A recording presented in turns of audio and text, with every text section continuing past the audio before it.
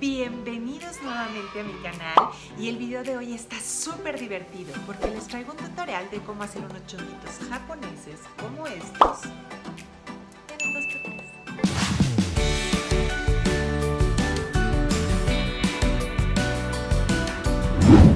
La idea de este tutorial es que sea algo súper fácil de hacer cuando no tienes mucho tiempo y tienes que salir corriendo de tu casa, que te hagas un peinado que está de moda, que es juvenil, que es trendy y que además es súper divertido y súper fácil de hacer.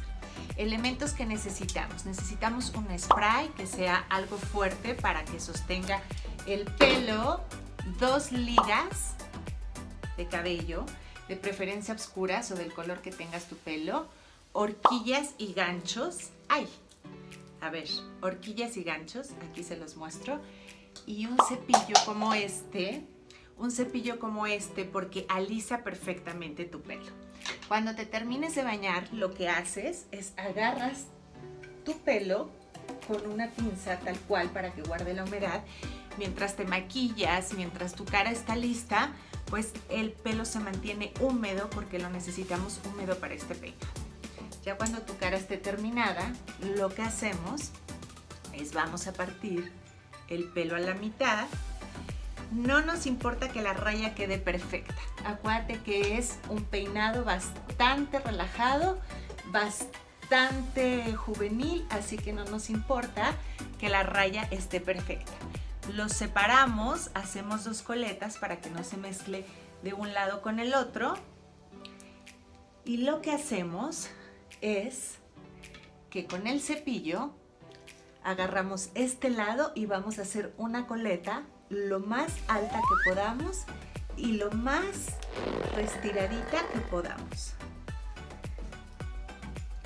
Si hay pelitos y tu pelo es bastante rebelde, lo que haces desde ahorita, acuérdate que debe estar húmedo, ya le empiezas a poner un poco de spray sin saturarlo para que quede súper lisito. Bueno, ya aquí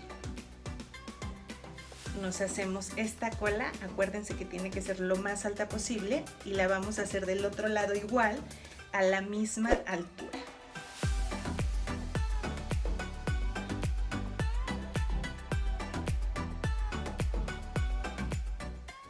Bueno, ya están mis colitas, las dos, a la misma altura, eso creo yo. Agarramos este lado y le hacemos un poco de crepé. ¿Por qué crepé? Para darle textura y que nuestro chonguito quede bien. El crepé depende mucho de qué tamaño quieras tu chonguito. A mí en lo particular sí me gusta que se vea altito, tipo japonesa. Y vamos a necesitar dos horquillas. Una la ponemos al frente, ya cuando lo terminamos de enrollar y la otra la ponemos atrás. Ahí está. Y obviamente va a quedar un poco despeinado. Entonces lo que hacemos, si quedan más pelitos, agarramos otra horquilla y los vamos introduciendo con la otra horquilla.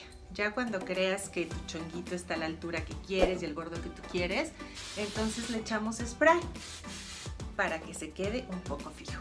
Y lo mismo vamos a hacer del otro lado.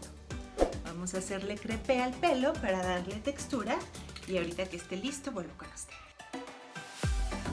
Bueno amigos, pues ya terminamos los chinguitos. Espero les haya servido estos tips. Ahora, para finalizar, le vamos a poner spray. Acuérdense para fijarlos y que se queden así como unos chonguitos japoneses.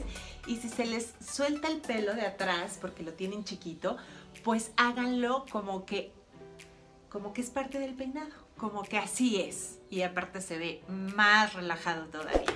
Espero que les haya gustado este tutorial. Es un peinado rápido, es un peinado que resuelve, es un peinado de moda. Atrévete. Siempre les digo que se atrevan a hacer eh, cosas diferentes. A lo mejor no están acostumbradas a peinarse así o a lo mejor lo ven un poco extravagante, lo que sea, pero créanme que a la gente le encanta. Además ahorita todo lo asiático está de súper moda. Así que atrévanse chicas.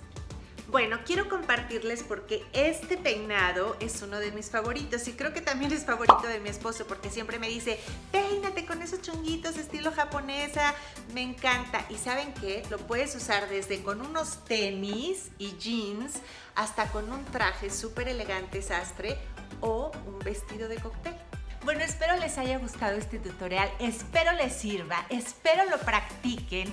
Es fácil, es rápido, es audaz, es atrevido, es divertido. Atrévete a ser diferente. Sorprende a tus amigos, sorprende a tu esposo, a tu novio y atrévete. Y bueno, si te gustó, pues ya sabes, dale like. Si no te has suscrito, suscríbete ahora y no te olvides activar la campanita y nos vemos aquí la próxima semana. Tu amiga Marlene Favela.